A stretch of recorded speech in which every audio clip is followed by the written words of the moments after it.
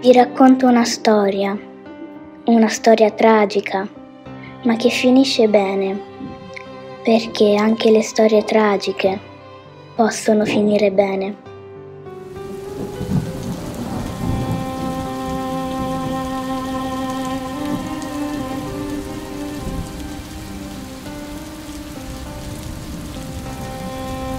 Mi chiamo Liliana Segre e sono nata a Milano nel 1930 in una famiglia ebrea.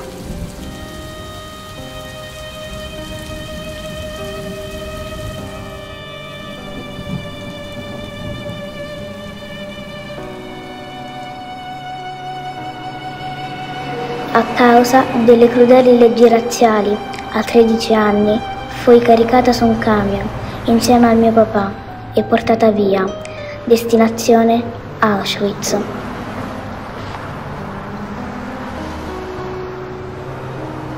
La mia amata città sembrava un fantasma e la cosa che mi feriva di più era vederla quasi indifferente al mio dolore.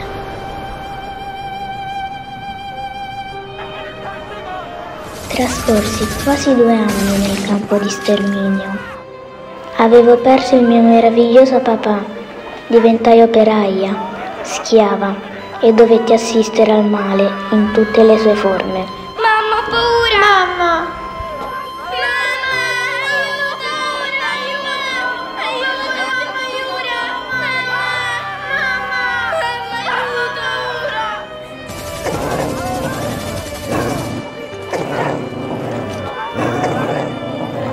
Ma mi dicevo che dovevo resistere, stringere i denti, che sarebbe arrivato il giorno della liberazione. E quel giorno arrivò. Aprirono il cancello e noi ci trovammo fuori, a toccare l'erba, a strappare una foglia per mangiarla. Aveva un sapore meraviglioso, il sapore della clorofilla, della vita.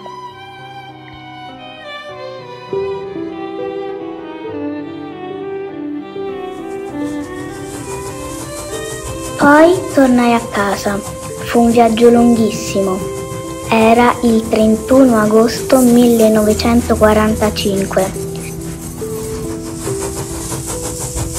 Milano mi apparve all'improvviso e mi emozionò. Mi sentivo a casa. La mia città era stata bombardata in modo disastroso. Arrivai a casa dei miei zii e nonni materni. Dovevo essere felice, ero scampata alla morte, ma non fu così. I parenti ce la mettevano tutta per tirarmi su. Liliana, non essere triste. Tutto è passato, cara.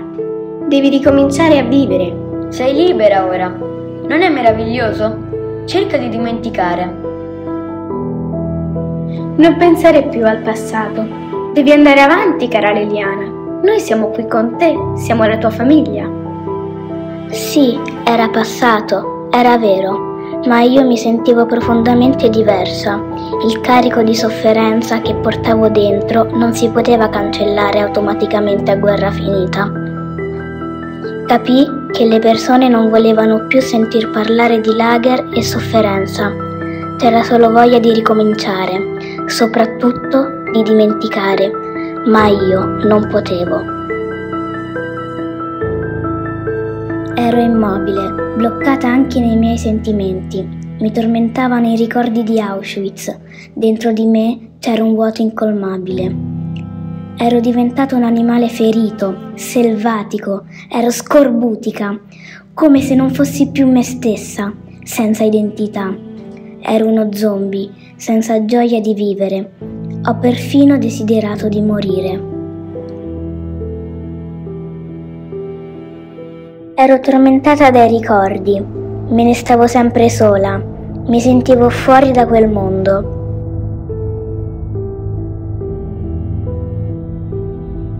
Di notte rivedevo le terribili scene al lager, udivo le urla disperate dei condannati, il pianto dei bambini strappati alle loro madri Sentivo l'odore acre del fumo delle ciminiere. Avvertivo il freddo della neve sotto i miei piedi. mi rendevo conto che non ero mai andata via da Auschwitz, ero ancora prigioniera, schiava nella mia baracca sgangherata.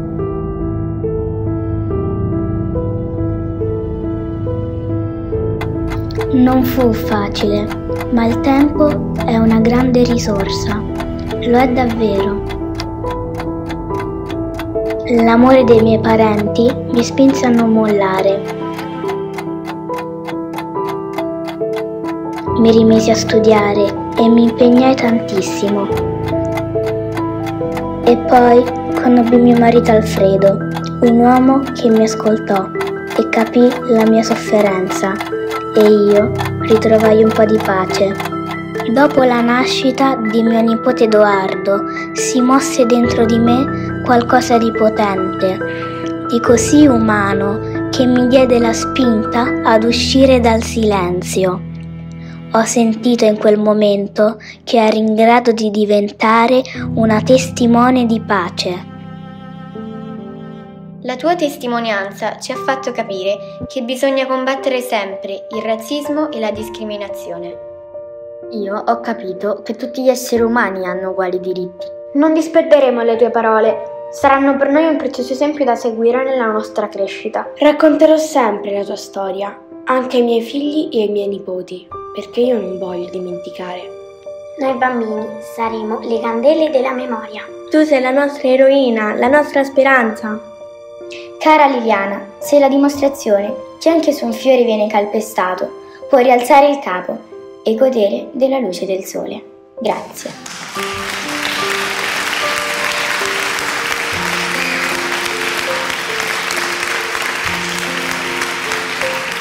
Cari ragazzi, sappiate coltivare sempre la pace e la speranza.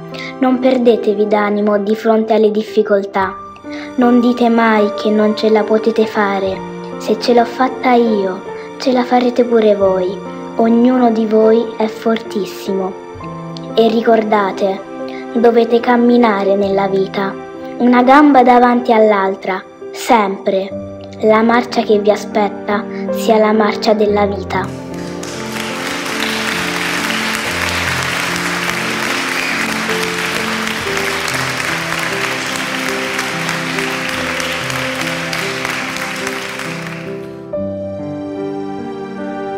Dopo 45 anni di silenzio sull'orrore vissuto, Liliana Segre decise che doveva parlare a tutti i ragazzi e a tutte le ragazze, i suoi nipoti ideali.